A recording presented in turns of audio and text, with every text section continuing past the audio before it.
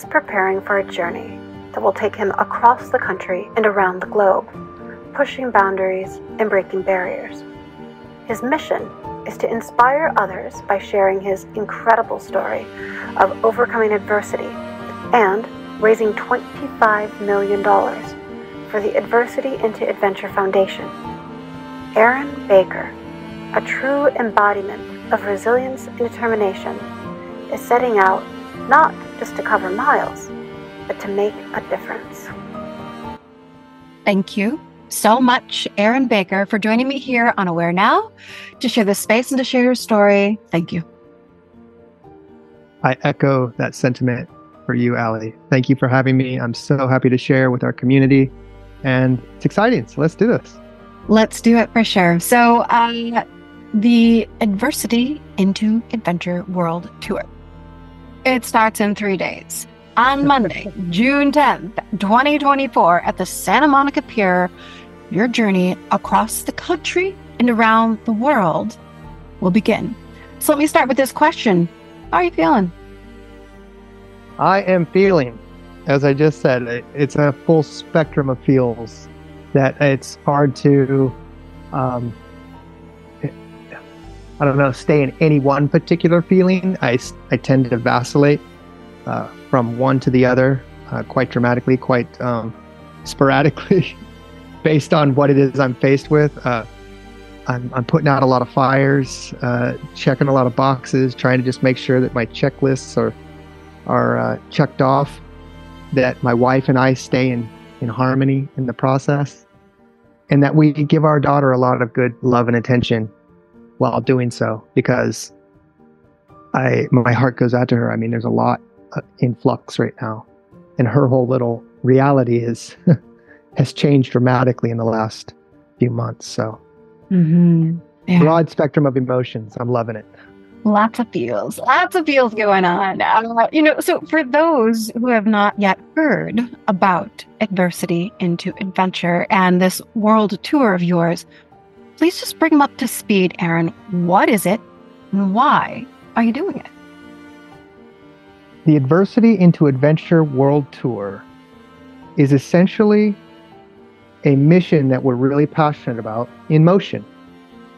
Um, I am a recovering quadriplegic for the past 25 years. And over the course of these last two and a half decades, I've accumulated a lot of great knowledge and life experience. Uh, I, I, have a lot of resources and, and friends and connections throughout a vast network. And I want to basically go out and empower other people with my life experience. I want to raise money for diverse abled people all around the world. I want to empower with them through three ethos, which is um, neurological research. I want to be a part of a, a, bigger solution for solving spinal cord injury.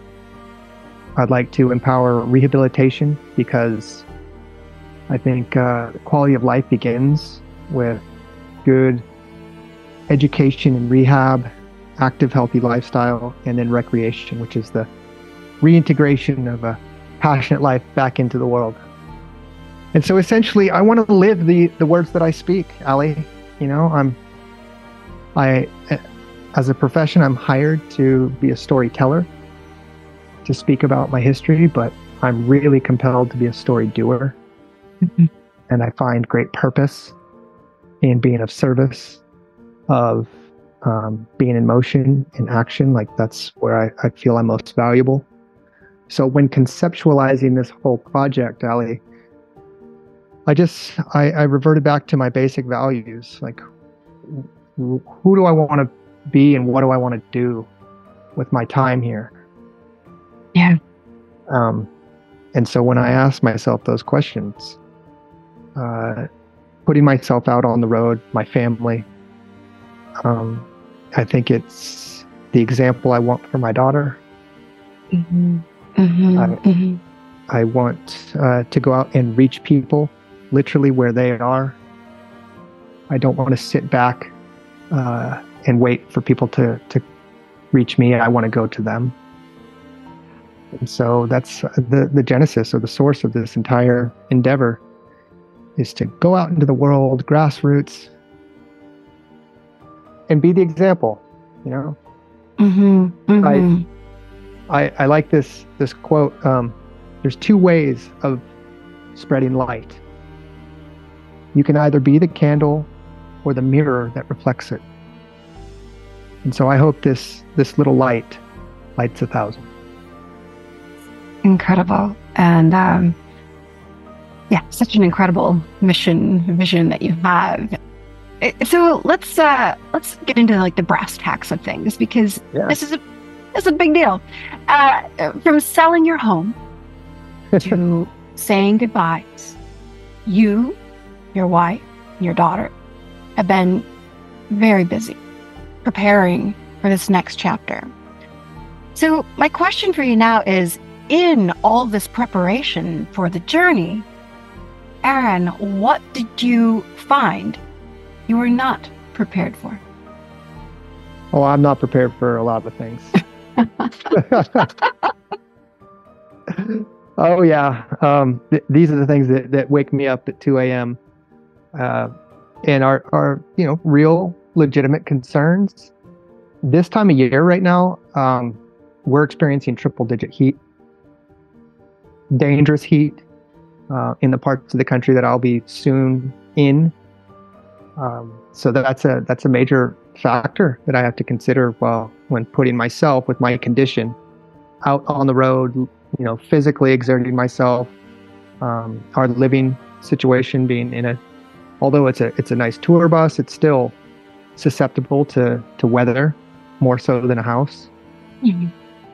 Um, just the the technical and logistical aspects of, of living on the road. There are a lot of moving parts that I have to get up to speed quite quickly.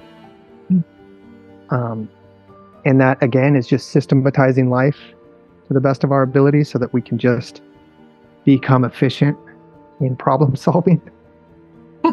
um, and you know, just managing myself um, and and again, like I said, my relationship with my my wife and daughter.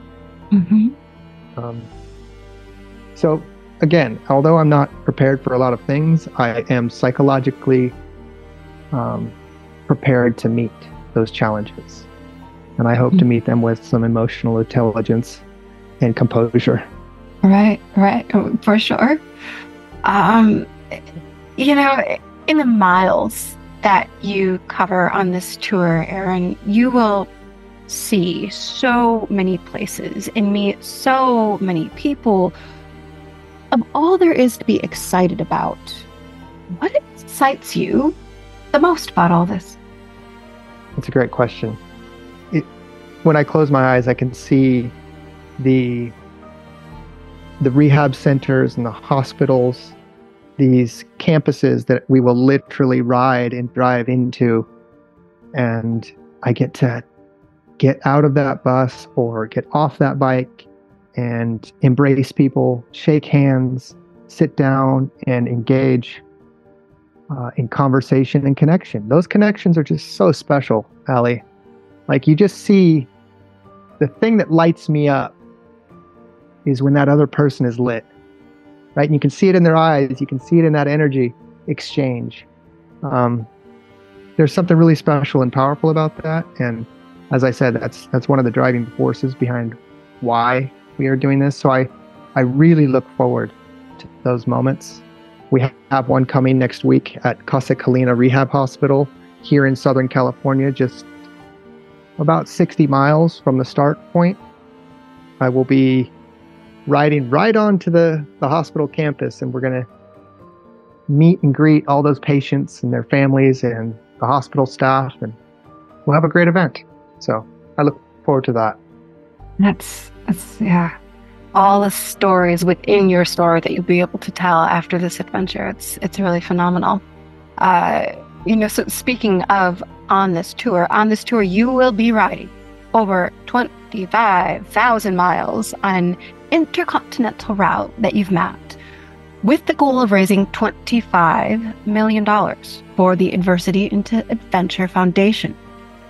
With a lot of miles to ride and a lot of funds to raise, challenges will come.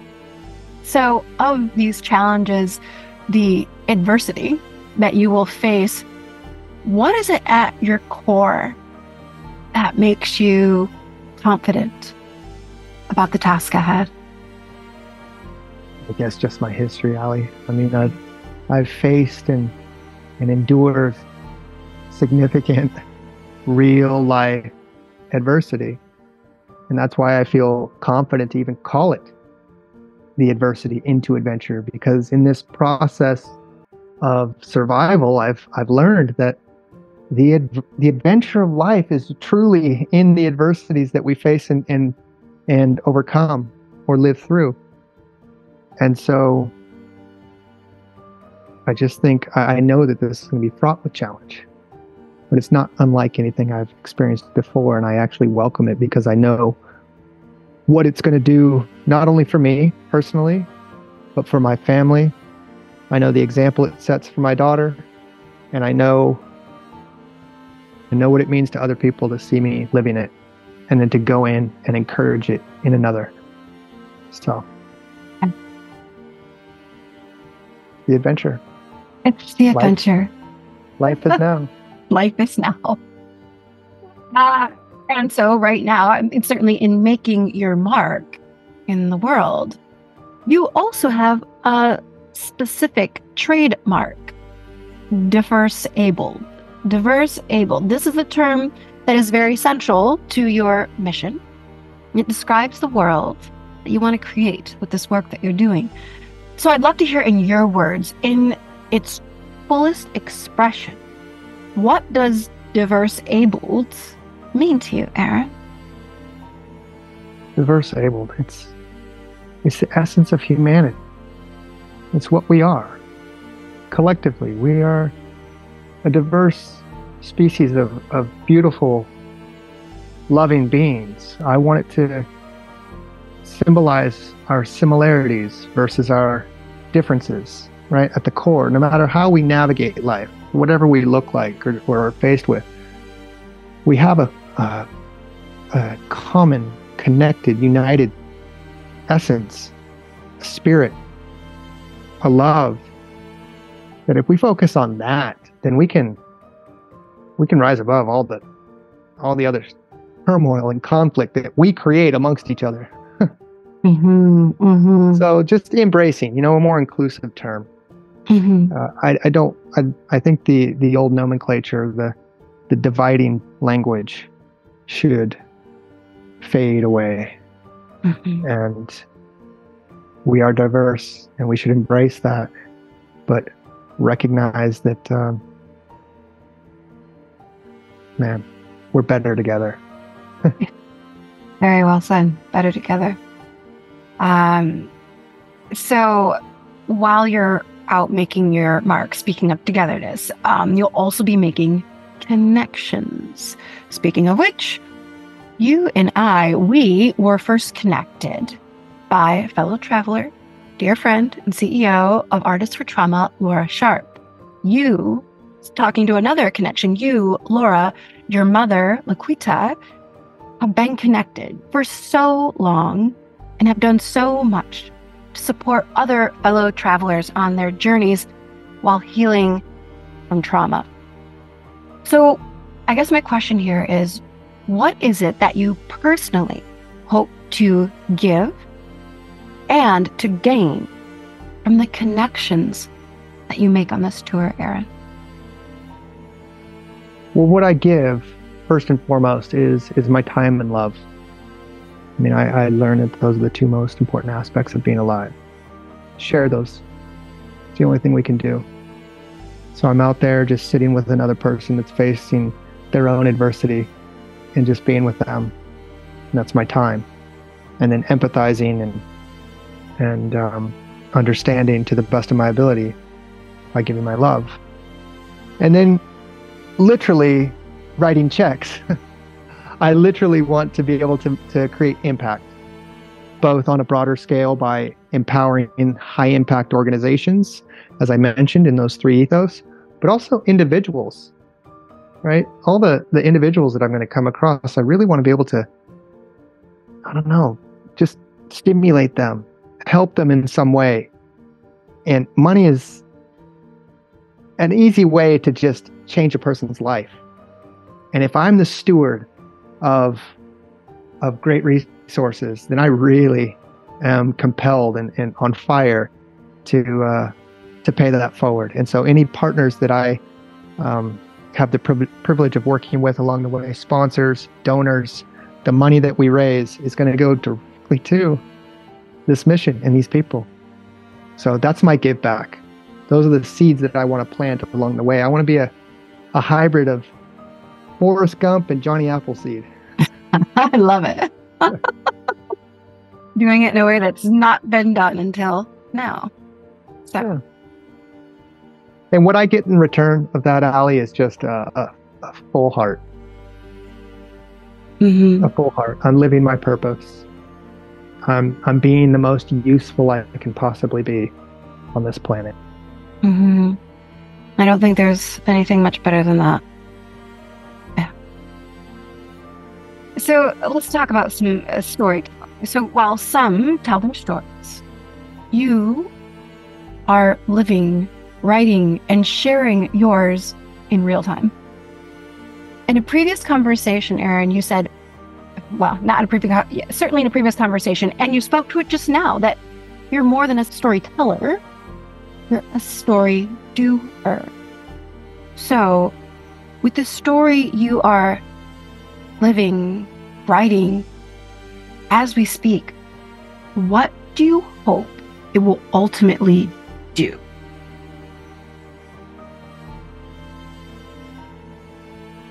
You know, it's it's cliche, but if I can impact a single life, if I can really reach somebody the way I've been reached, mm-hmm. right? If I can do that, then I'm doing my job. Then I'm fulfilling what I set out to do. So, yeah, again, by living these words that I say, there's a lot of talk these days. There's a lot of internet um, conversation going on, which is great. But what I'm really attracted to are those souls that are gritty. It's uh, it's almost a bygone era, right? Like I'm I'm going out there trying to keep the keep what this country was kind of founded on, which was like a, a grit and a tenacity and an optimism and a hope and a, a passion for creating. Um, you know, I, I want to echo my grandmother, you know, the, the fierce tenacity and passion that my mother has. I, um, I want to keep that alive and well. I want to, sh- again, show my daughter what she comes from and those those characteristics I think uh, are very needed right now in the world. The words resilience and tenacity and all that stuff is really thrown around quite frivolously, and I don't want to throw those around. I don't want to use those terms haphazardly. I want them to actually be rooted in my effort in life. Mm-hmm. And that's why yes, I have a Harley Davidson and I have other like ways that I could easily um, ride or go be an example, but I want to push pedals.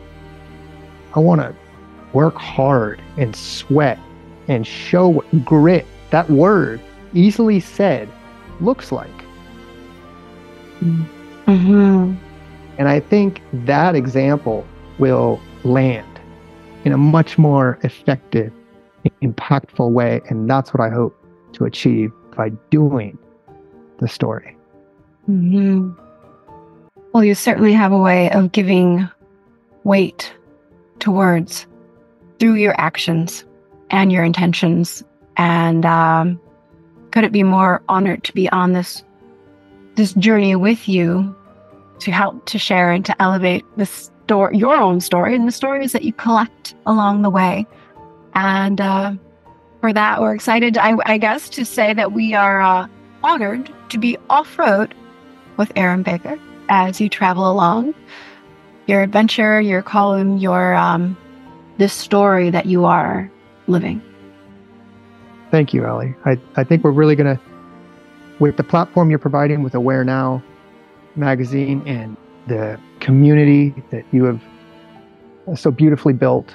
Um, there are a lot of stories that we're going to be able to flesh out and share and reinforce everything that I just said here today. There are so many beautiful people out there that deserve to have a light shine their way, an opportunity for their voices and their efforts to be seen and heard. Mm-hmm. And so, uh, again, that's, I'm just the catalyst for mm-hmm. so much in the world. You're the catalyst, you're the candle, and we are honored to be a mirror to reflect that. Yeah. Um, so, thank you so much for sharing your story, for sharing your journey, for helping all of us become a bit more aware now. Thank you so much. Perfect. I love it. Thank you.